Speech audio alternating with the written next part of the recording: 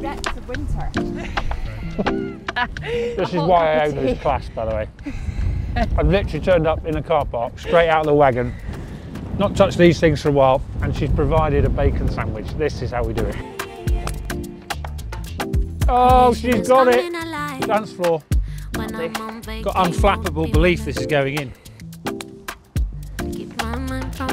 Oh, come on, baby. Come on, baby. You're kidding! Welcome back to On the Road with Iona. I am so pleased to be bringing you this episode today with someone I have a huge amount of admiration for and I'm lucky enough to call a friend.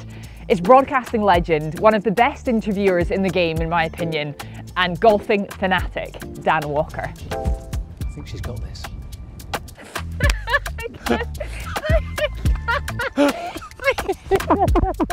Right, we're stopping now. Sorry, guys. It's a great episode.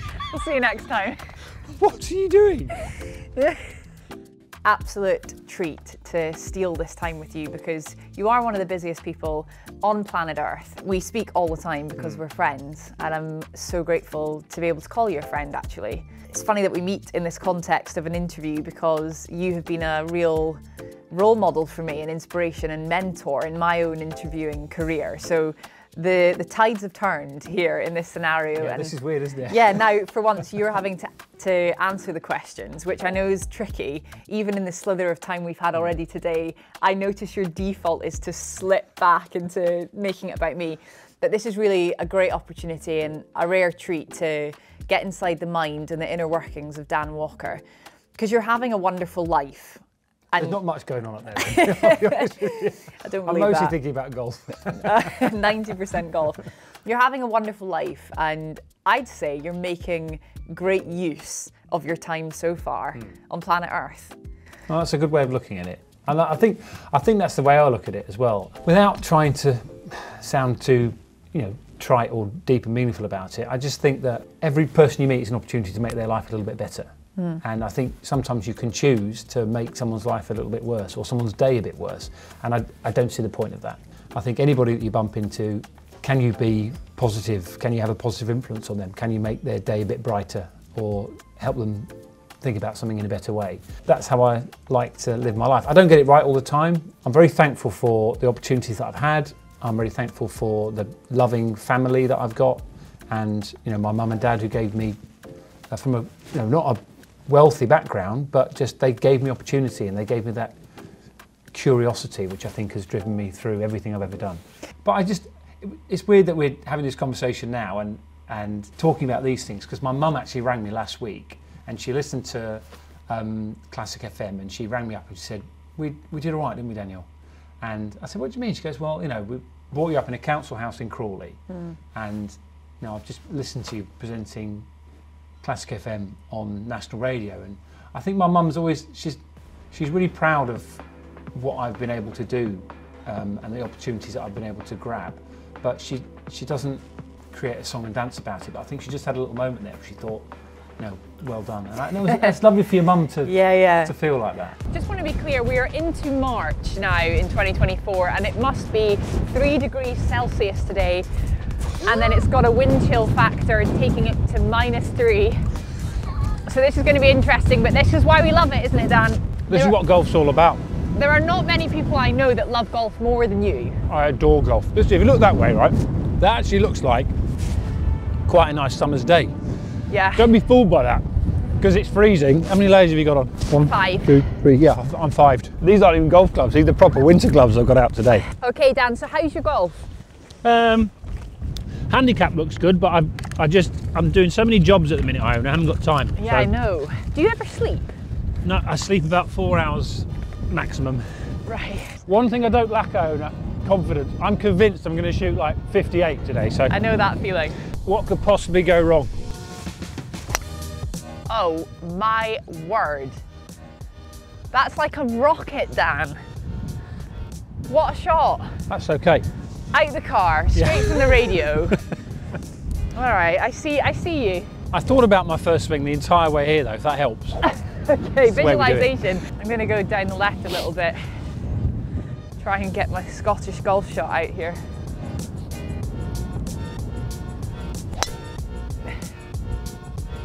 That's the place to go. That'll play. Safest housing. That is just one of the best swings you're going to see in golf, isn't it? Don't be silly. you are far too good to be on YouTube. You just you get get on tour.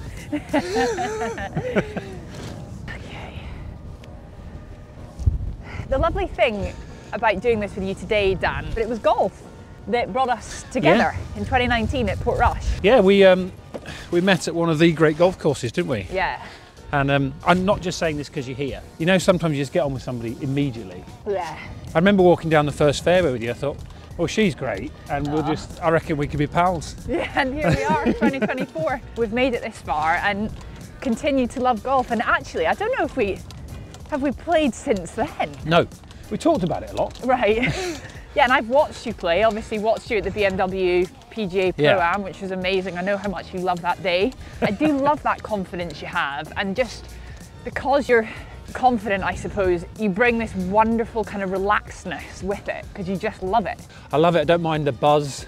I like the red light on the camera. Yeah, I like all that. that's great. Oh, she's got it. Come on. Dance floor. That'll do. Dan, what have you got?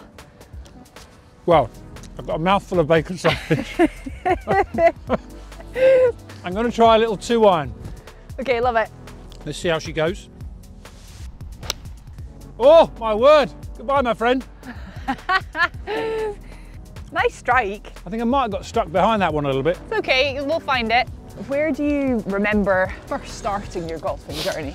I was a very sort of hyperactive kid, and my mum was always looking for things to keep me entertained.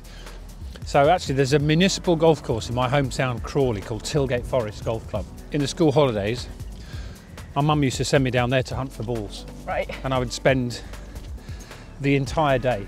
Arrive there first thing in the morning, just walk around the bushes, in the trees, picking up balls, and then selling them back to people who were No way. on the first tee. Yeah. That's hilarious. I actually had a similar chapter in my life when I was a early golfer and I didn't have much money and I used to go out in the night around Beaconsfield with a ultraviolet torch. When you shine an ultraviolet torch in the rough, golf balls shine back at you because it picks up the white. Always thinking. And I used to package them up into the branded bags, sell them for a fiver a bag. What was your first club? I got a half set all at once. Half set of second-hand TaylorMades. My granddad got me a seven iron for like this Nick Faldo thing. No way. Yeah, it was uh, just a birthday present because he knew I was obsessed with any sport. Right. So he said, "What about golf?" And here's a here's a seven. Why It's do you think your mum decided to drop you at the golf club? Did she just think big open green space? He's probably quite safe there. Yeah, he'll drop run, him off. he'll run around. He can keep himself entertained. And I've always been chatty. I like talking to people, and I can make friends relatively easily. So I just made some good pals down there. Got to know the guys who um, drove the buggies round on the, you know, picking up the balls. Yeah. And then, yeah, I used to spend quite a few hours just watching other people play golf. Oh, that's lovely. Spinny little one. Beautiful. Great touch. It's okay. Uphill putt. Nice. All the pros say that uphill putt. when they hit a bad shot, just say uphill putt. That's so true. right, bit of uphill left to right here. Tell you what, this would be some birdie to kick us off on a long par four into the wind. It would actually. Beautiful greens. Look at the roll on that. Get in. My trusty old friend. I don't honestly don't know what it. This putter is a joke, Dan. You've got to try it. That's incredible. It's like a decent drive. What did you have, about 200 into the wind? Yeah. Three wood smacked it. My other problem with golf is that I, if I concentrated, I could be, up, but I just tend to talk the whole way. And I can't really stop chatting even when I should really be concentrating on what I'm doing and trying to put the Go ball in the hole. Give you that one. That's good. Because she's already got a birdie in the bag. I told you, she's a machine. First time I interviewed Glenn Hoddle, who was my dad's, you know, my dad loved watching Glenn Hoddle play football as a, as a kid. He's a big Spurs fan. So first time I, interviewed and then worked with Glenn Hoddle. I remember my dad rang me up when I first went on Questions of Sport. That was a big moment for him because we used to watch that programme together. Yeah, yeah. I remember, I think I presented like 14 and 15 FA Cup finals. And again, the first one that I presented, I, my dad rang me on the way home from that because that was something that was part of my childhood, watching sport with my dad. Um, and Uh, so it's nice that they've had some special moments along the way because I, I suppose I tend to compartmentalize it a bit and I'm always thinking what's next and I don't tend to revel in something. I'm like, okay, that was great, I did a good job, move on to the next thing. Mm-hmm. Even on something like, you know, something quite momentous like being on air for the death of the Queen. You know, I was one of those presenters who announced that the Queen had died and you've got to think about every word because everything you say matters and the tone and your face and your demeanour and what you're wearing and how you convey those really meaningful words to somebody when you, you're thinking about the fact that basically everybody who's watching has not known life without this woman in it. Mm-hmm. And all of a sudden, everything seems to change. And you can feel very uncertain and unsure in that situation. But I remember doing that program, finishing it, and then as I walked out of the studio, I was thinking, okay, we, we've done that. You know, uh, obviously the funeral is to come, but um, you've just got to then move on to, to the next thing and try and do the next job, whatever that might be, as well as you can. That's how I try and look at it, I think. One of the things that impresses me most, and you've just hammered it home again once again, is how wide reaching your career is. You touch so many different subjects and topics. Hmm. You know, I work in golf and that's all consuming. It takes so much effort and energy for me to feel like I'm at the top of the game hmm. to be able to stand and deliver. But you somehow manage to jump from one end of the spectrum to the other you know from the from the death of the queen to the premier league and then to classic fm I know, but I don't. I just see it as life. Like So- it's just all. It's various colours of life. because, Right, right. Mm. Like golf is brilliant, and I love it.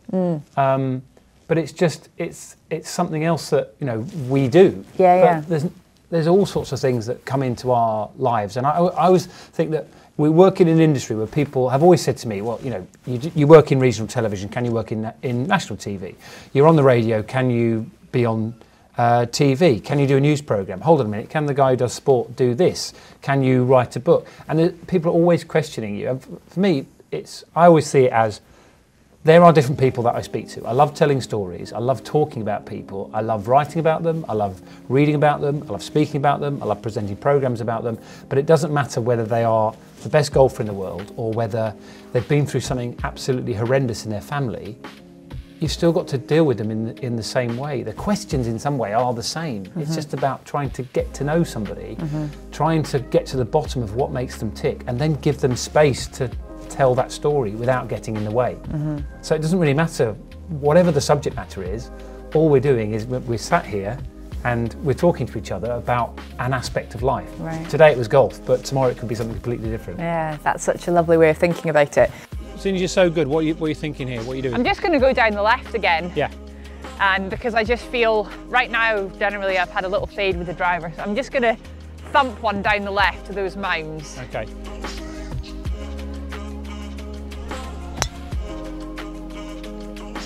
There's that little fade That's so good. Okay. What a golf course this is.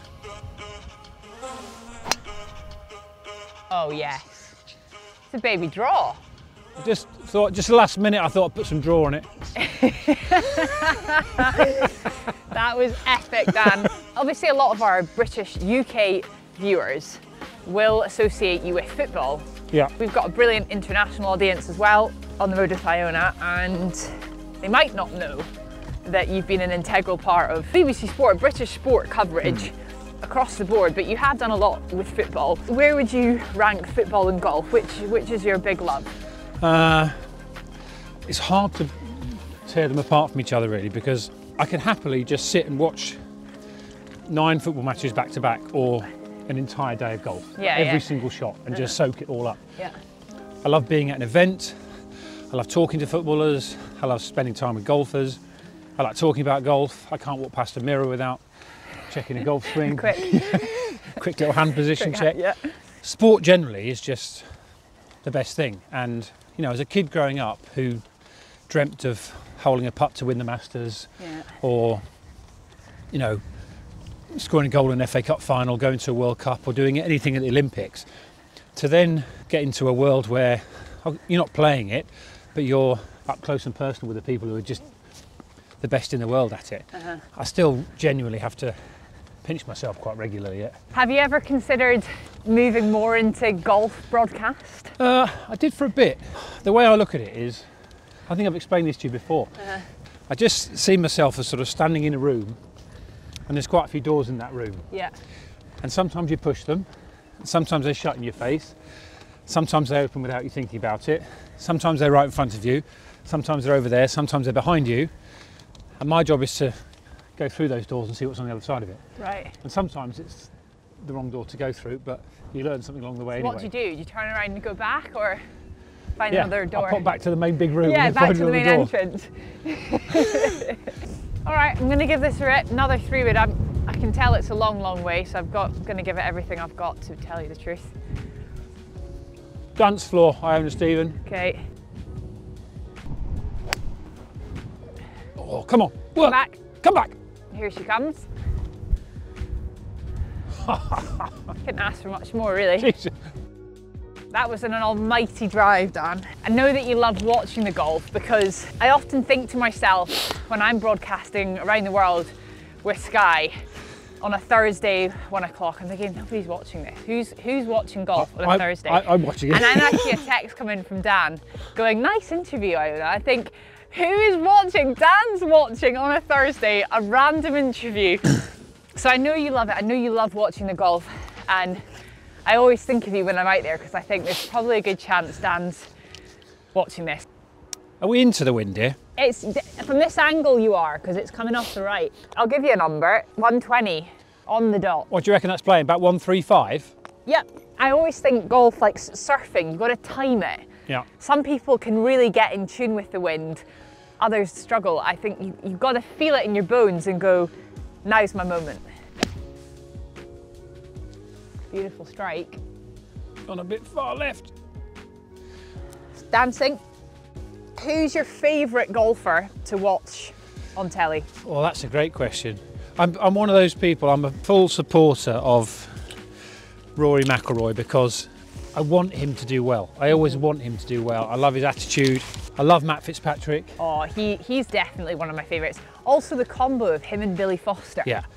It's one of the all time great combinations. I love the fact that Matt eats his way around the golf course as well. Like, he, um, when, he, when he first started out, I think, did he, was his first win at Woburn? I can't remember what the first win was.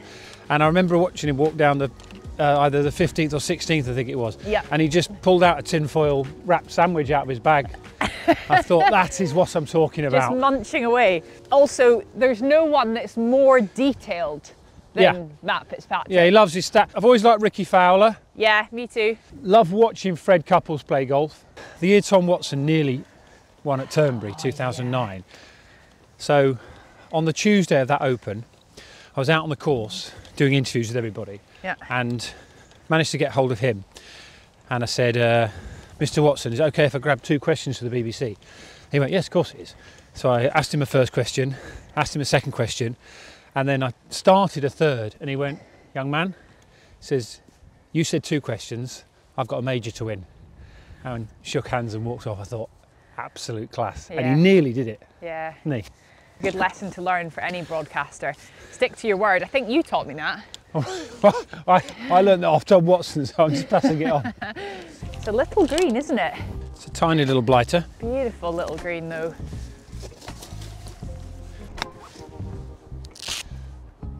Sit. Okay, You've left yourself a bit of a perilous putt there. I have, but it's just my length.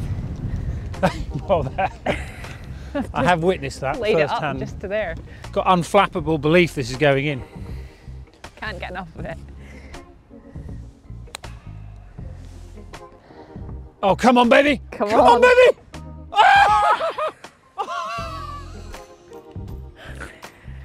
You're kidding!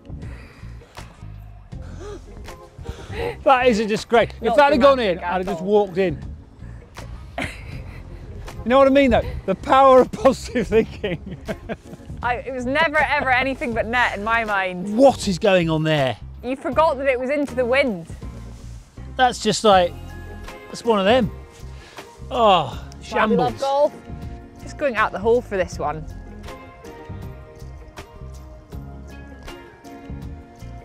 I like that. Come on, keep rolling. Keep rolling. She's got it. She's got another one. right, I gave you a high five the first one. That was getting a hug. I'm telling you, there is something in this butter, and sometimes she goes really cold on me, but when she comes back, boy, does she come back. She did say she was going to hold it. Wowzers. There you are. It's a par all day. Tough school, this. You've managed to kind of shape a career hmm. Which has taken you so so many fascinating parts of life, but sport's been kind of at, at the core of, of a lot of what you've done, and you've met some people who've achieved greatness, hmm. and of course you and yourself have achieved greatness in the broadcasting world, and you've still got, you know, you're only in your 40s, you've got the rest of you've got the rest of your life. What common characteristic do you observe in people who are great? Oh, that is a great question. Um, and as somebody who I think I set out on the golf course, I love spending time with brilliant people because I just I consider myself to be a, a good sponge. I just love soaking up ideas, ways of doing things uh, from people of all different walks of life. And I think, well, it depends how you define greatness. Do you Well, define, it's up to you. yeah, because if you define greatness in sort of success, then I think it's that it's that drive. Um, but I'm not sure I would define greatness like that. I, I define, I think greatness for me is about the impact you have on other people, and I think that is there is a, a kindness and a compassion that I think is really marks people out, and that it's that opportunity where you can benefit yourself, but can you benefit yourself and benefit other people at the same time? And I mm-hmm. think maybe really successful people have that total, you know, zone of this is about me and only about me and about me getting to the top of that tree and I don't care who I leave behind. Yeah, yeah. Well, the people that I really admire and the people I would consider to be great are the ones who are always looking behind them or to their sides and thinking, well, can I bring her up with me? Or can I open the door for that person at the same time that I go through? Um, I know that probably sounds like a No, I believe it's it not- because it's not- you've done it with me, yeah. so I know it to Well, I true. but I just, I love. I think because I had to work really hard to get to the opportunities that I had, and no one, I don't have anyone in my family who worked in the industry. My mum and dad were both teachers, and my dad worked as a as a minister in a church for a bit as well.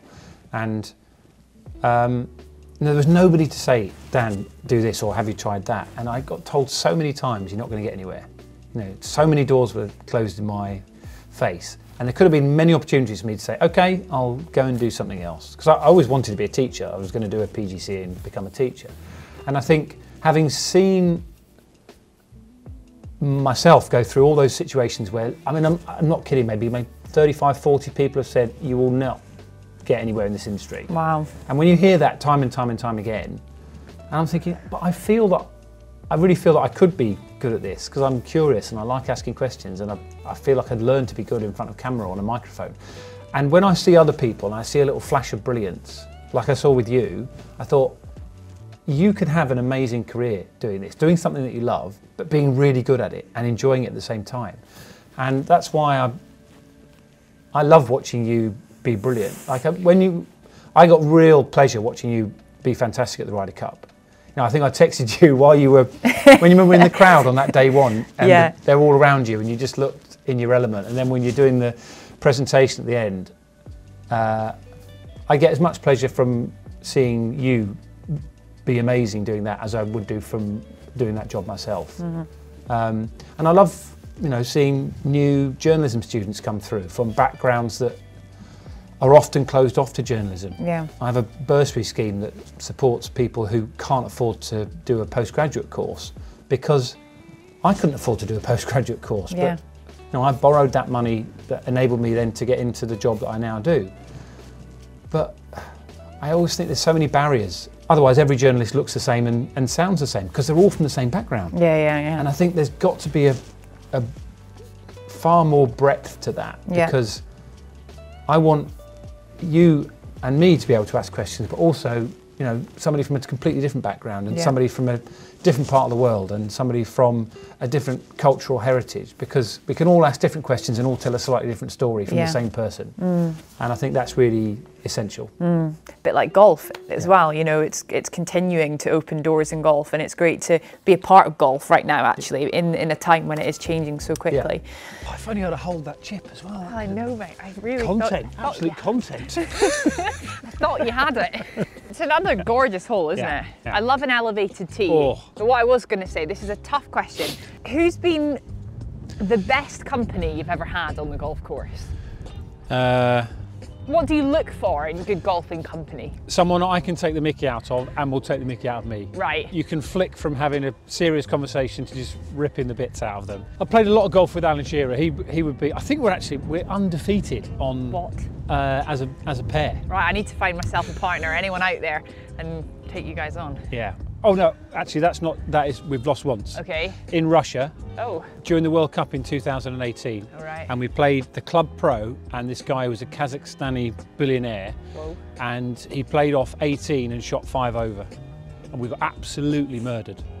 And thankfully, he'd offered quite a high amount of money for the game, and Alan Shearer said, "No, we're playing 10 pound the front nine, 10 pound the back nine, and 10 pound the match." he saved us a lot of money that day. Excellent. That was a Geordie accent, in case you're Not bad. Better than I've got. What are we doing? Well, What's- this is going an absolute mile. This is drivable for you because elevated, downhill, downwind, 401 yards. You'll be flirting with the front. I'm going to go down the left and stay away from those bunkers. Okay, left and adrift. Yeah, drift because they've got that wind. Yeah. Okay. I think those bunkers are actually carryable. Yes. That's what I like to call my five layer swing. Just kind of That's perfect, that though, isn't it? Yeah, it's fine. It's just, you know, you have to play more within yourself when you're wearing five layers. Yeah, I'm, Quite so dynamic.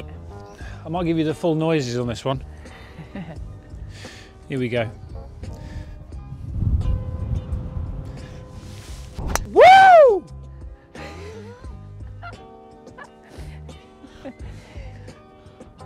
That looked very good, Dan. Love that. As long as you just shout, It's got a chance being close. just scream really loudly. Not sure about the finishing position, but A for effort.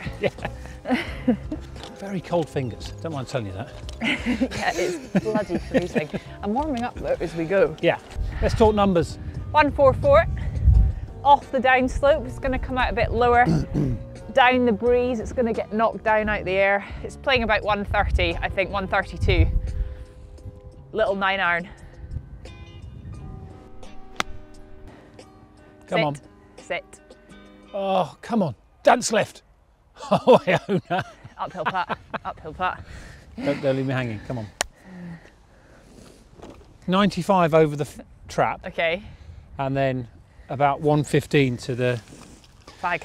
flaggage. Tough shot here because it's straight down the breeze. Yeah. So that the two stakes Mm-hmm. going to go between that stake and the just to the right of that second stake. Like that. A lot. Good. It's gone 100, tiny bit right that. Could be okay. I'm 90% sure this is going in. Okay.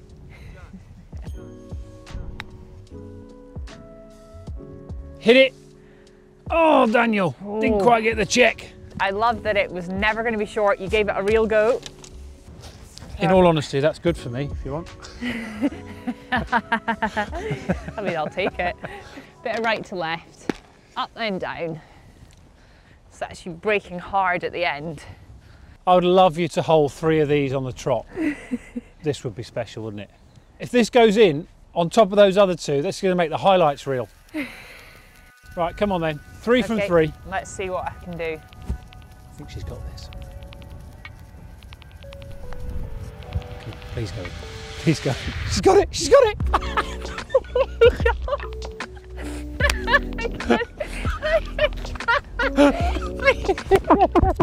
Right, we're stopping now. Sorry, guys. It's a great episode. We'll see you next time. What are you doing? Anyone who's not watched golf before, this does not normally happen, right? This is just extraordinary. It was Erik Van Rooyen that was doing this the other day on the PGA Tour. Some days you just have it that holds a bucket, and Dan, there's no one that makes me feel better in your. I, I just love watching it. It's, it's, I feel then. like I'm I'm fully in the passenger seat here, but I'm enjoying myself. what, a, what a delight!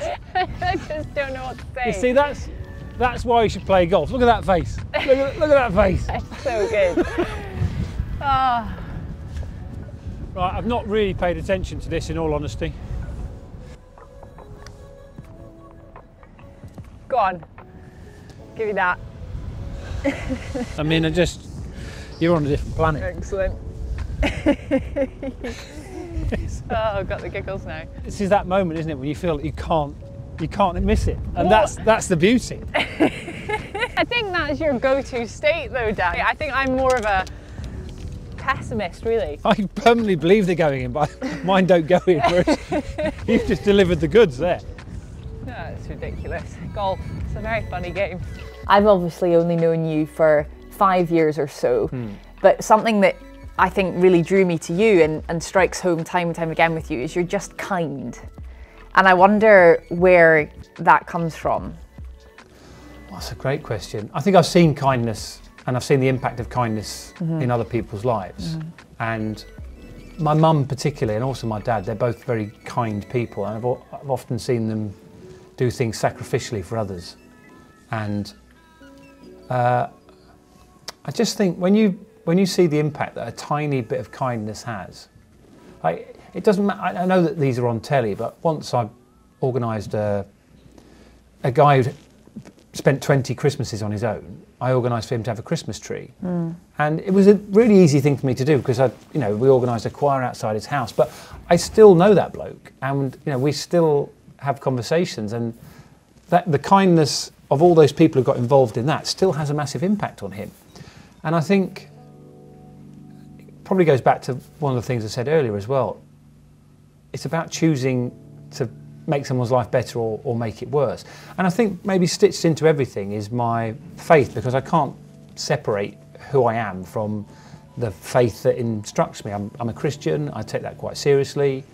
And I think that probably impacts on everything that I do because I, I know that that's a big part of who I am, mm-hmm. and that's what makes me tick. And it guides the words that come out of my mouth, my hopes, dreams, ambitions, all those things.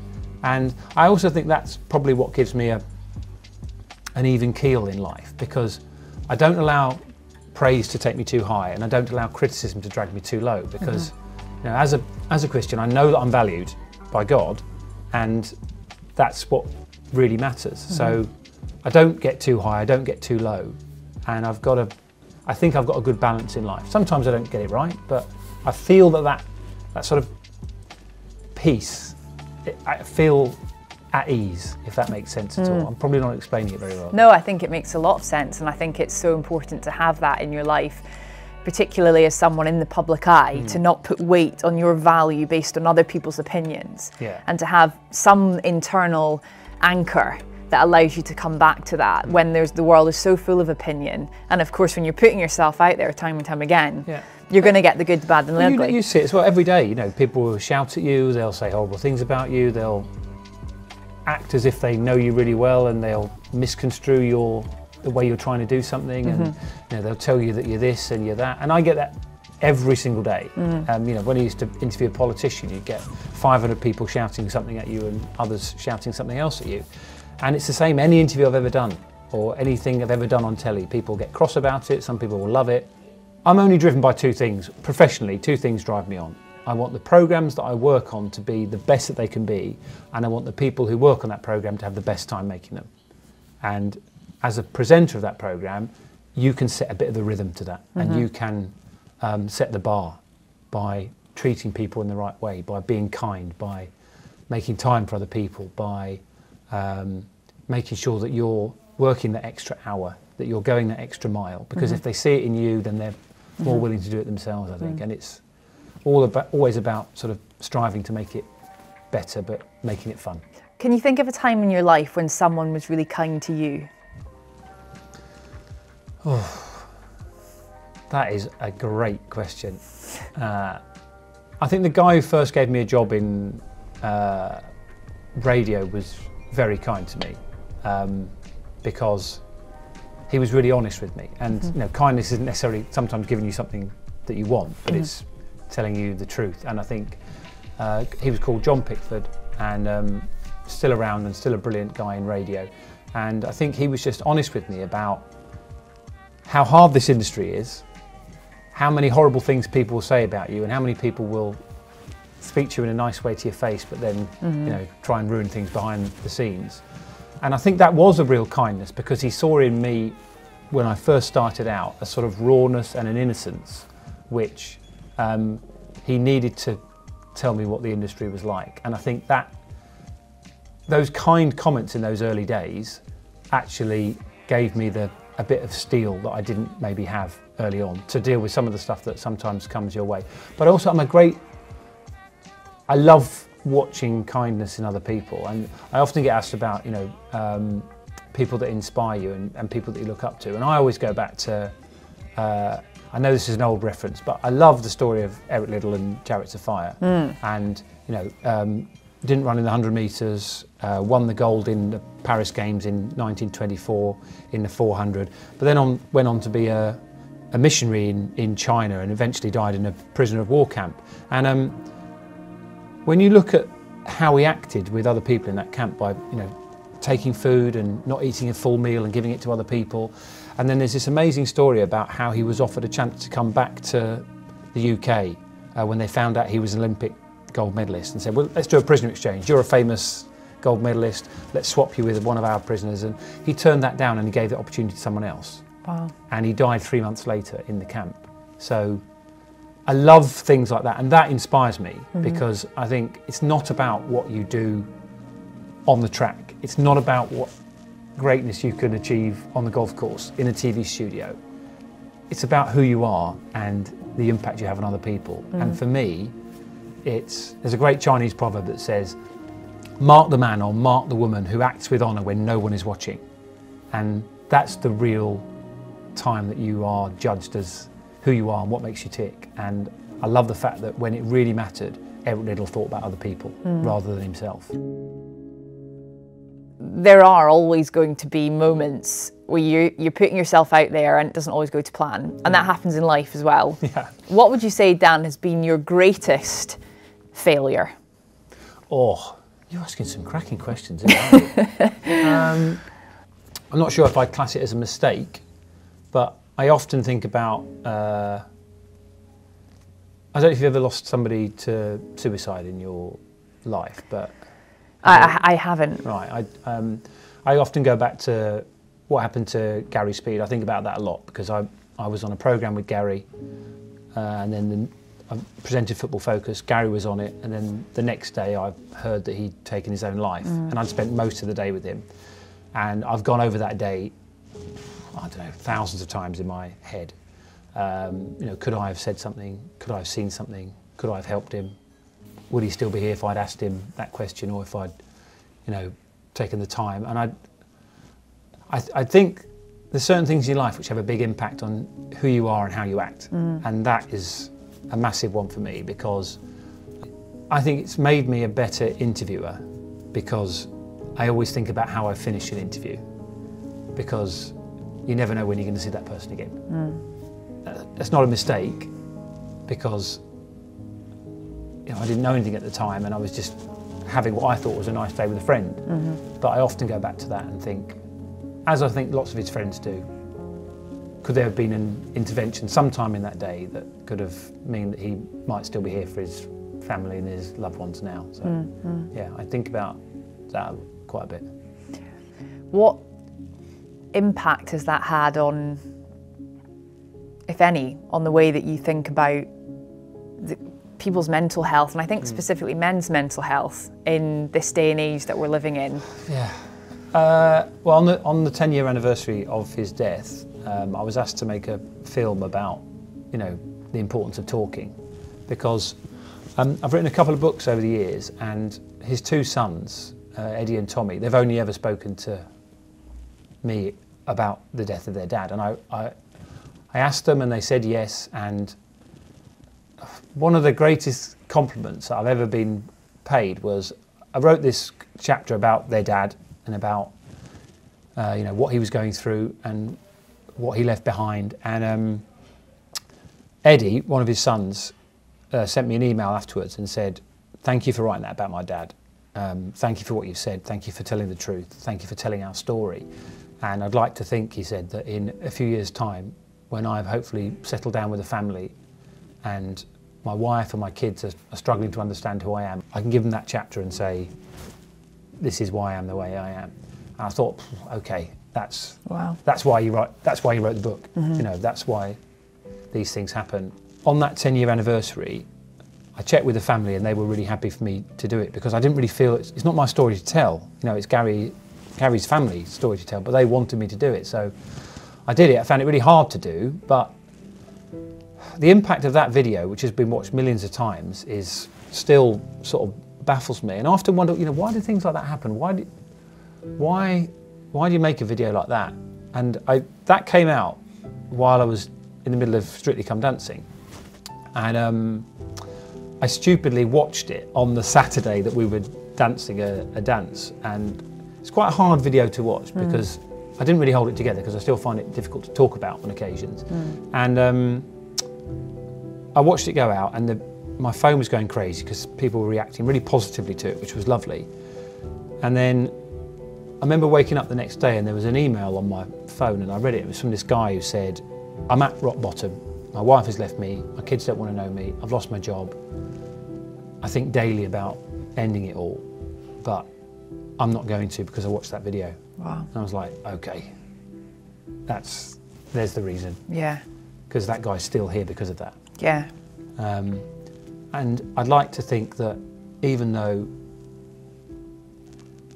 his death has really made a massive impact on a lot of people, mm. and it mm. was front page, back page news, I think we're in a much better place now, you know, over a decade on. And I'd like to think that if his two sons were in that situation, they'd talk to somebody. Mm-hmm. And I'd like to think that men of that generation now would not just settle for are you okay and let's crack on, but they might go a little bit deeper and they might sort of see that their friend is struggling mm-hmm. or notice something about you know their brother or their dad or their uncle, whoever it might be, who isn't quite right, mm-hmm. and not just gloss over it and try and dig a little bit deeper. I think we're better at that, mm-hmm. and I'd like to think that that's a that's a really big step forward. Mm. We talk quite a lot about mental health mm. on this channel because golf, I believe, can, can and does impact people's mental health really positively. And I think in the topic of men's mental health specifically, yeah. who, without wanting to generalise too much, can bottle things up and totally, not, yeah. not talk about their feelings quite so readily.